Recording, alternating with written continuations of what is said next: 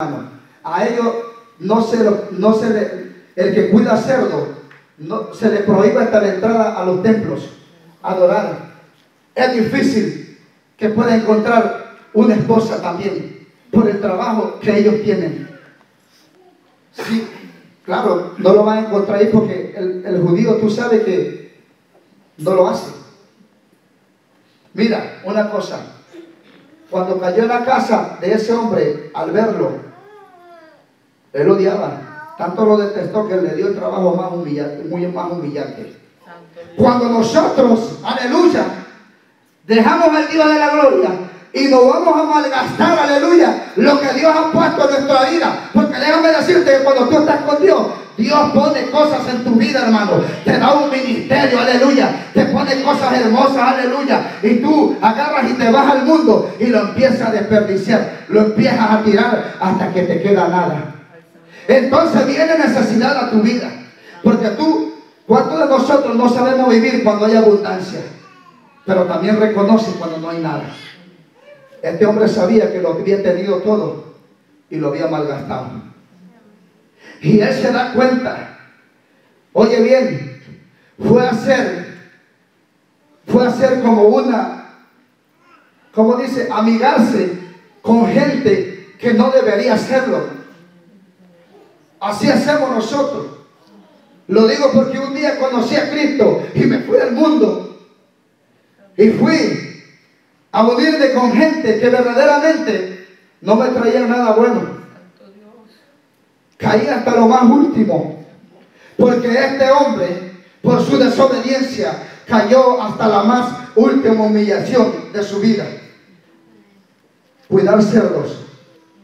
Cuando nosotros nos vamos al mundo, el enemigo, el diablo, Satanás, nos revuelca tanto que nos tira a hacer lo más humillante, lo que tú nunca has hecho, lo vas a hacer ahí, porque has perdido todo, has perdido dignidad, aleluya, has perdido todo. No hay nadie que te pueda frenar, anda desenfrenado en una vida descarriada, aleluya. Pero gloria al Señor. Óyeme bien. Uh, mi alma te alaba Jesús. Aleluya. Mi alma te alaba, Señor. Déjame decirte una cosa.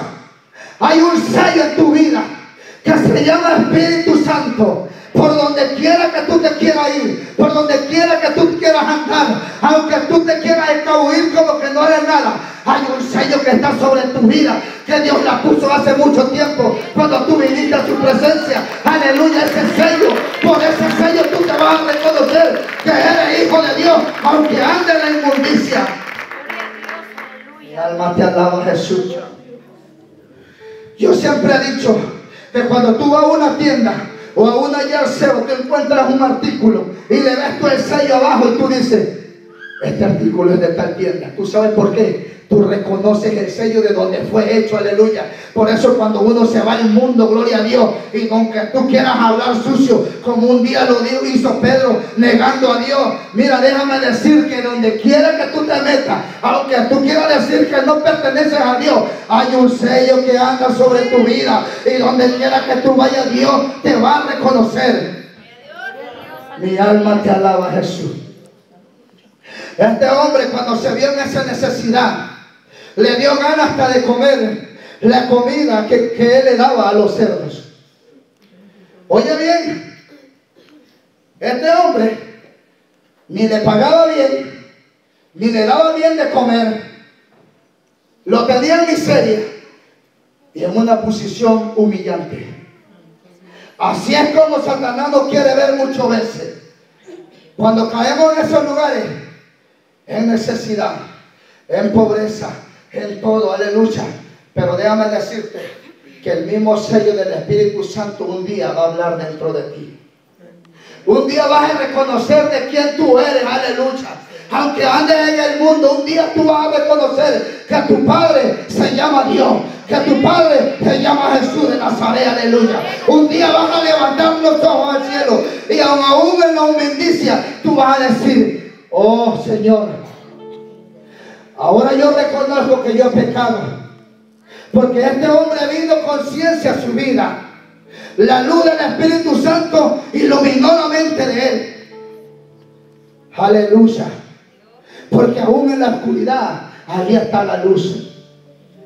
Porque cuando uno anda en el mundo, anda en tinieblas. Te golpeas con lo que sea y no te das cuenta con que te estás golpeando. Aunque te está haciendo daño. Ahí sigue.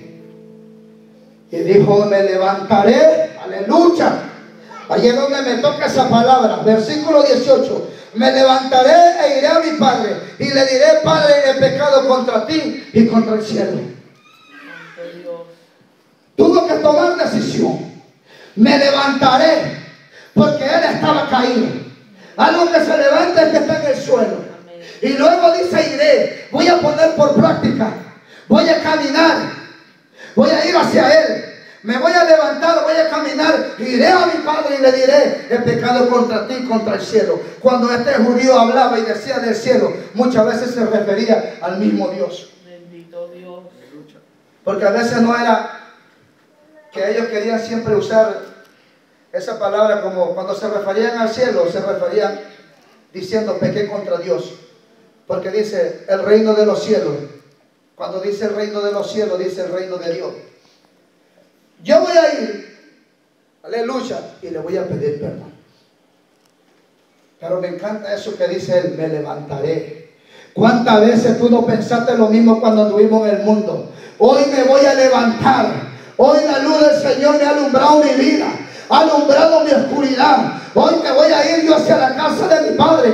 Yo ya sé dónde buscarlo. Déjame decirte que cuando uno se va, Dios se queda en este lugar. Yo como hijo yo puedo saber dónde voy a encontrar a mi padre, porque mi padre se ha quedado en la casa, en la casa, aleluya, en este lugar. Por eso tú ves que el pecador muchas veces llega a este lugar, porque sabe que aquí es donde él habita. Pero en ese momento se estaba refiriendo a la casa material de su padre. Yo voy a ir para acá y le voy a pedir perdón. Se levantó y fue pidió perdón. ¿Y sabes qué, hermano? Él trae una mentalidad, como decir, voy a ser el más último ahí. Yo voy a regresar a la iglesia después de haber andado en el mundo, en que me pongan a trapear el piso. Pero yo quiero estar en la casa de papá. A lo mejor el ministerio ya lo perdí. Porque desde hace muchos años me fui y lo dejé tirado lo que Dios me puso en mi vida, pero voy a regresar a Él. A lo mejor Él puede restituirme al paso del tiempo. Pero voy a empezar por lo más bajo. Voy a empezar barriendo la iglesia. Voy a empezar limpiando los baños. Pero voy a estar en la casa de mi Padre. Lo que muchas veces tú no piensas es que Dios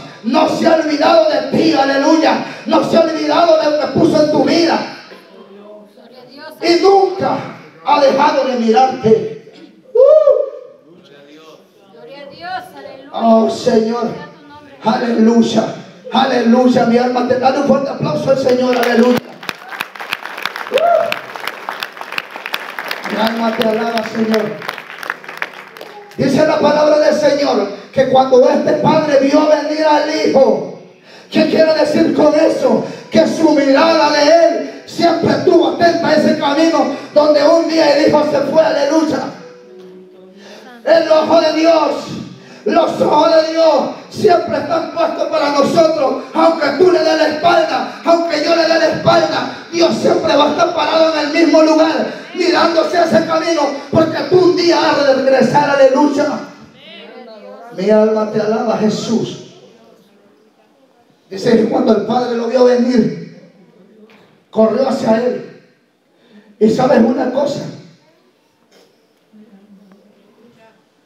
lo vio venir y no esperó a que él llegara hasta ahí. Él corrió allá y lo besó y lo abrazó. Jesús de Nazaret Tú muchas veces dices, yo digo, yo vine a los pies de Dios. Yo me acuerdo cuando yo llegué. Es mentira. Dios siempre va atrás de uno. Dios siempre te va a ir a buscar donde quiere que tú te metes. El ángel de Jehová siempre acampará alrededor de ti. Es verdad que uno viene. Pero Dios está siempre en el lugar. papá siempre está en el lugar esperando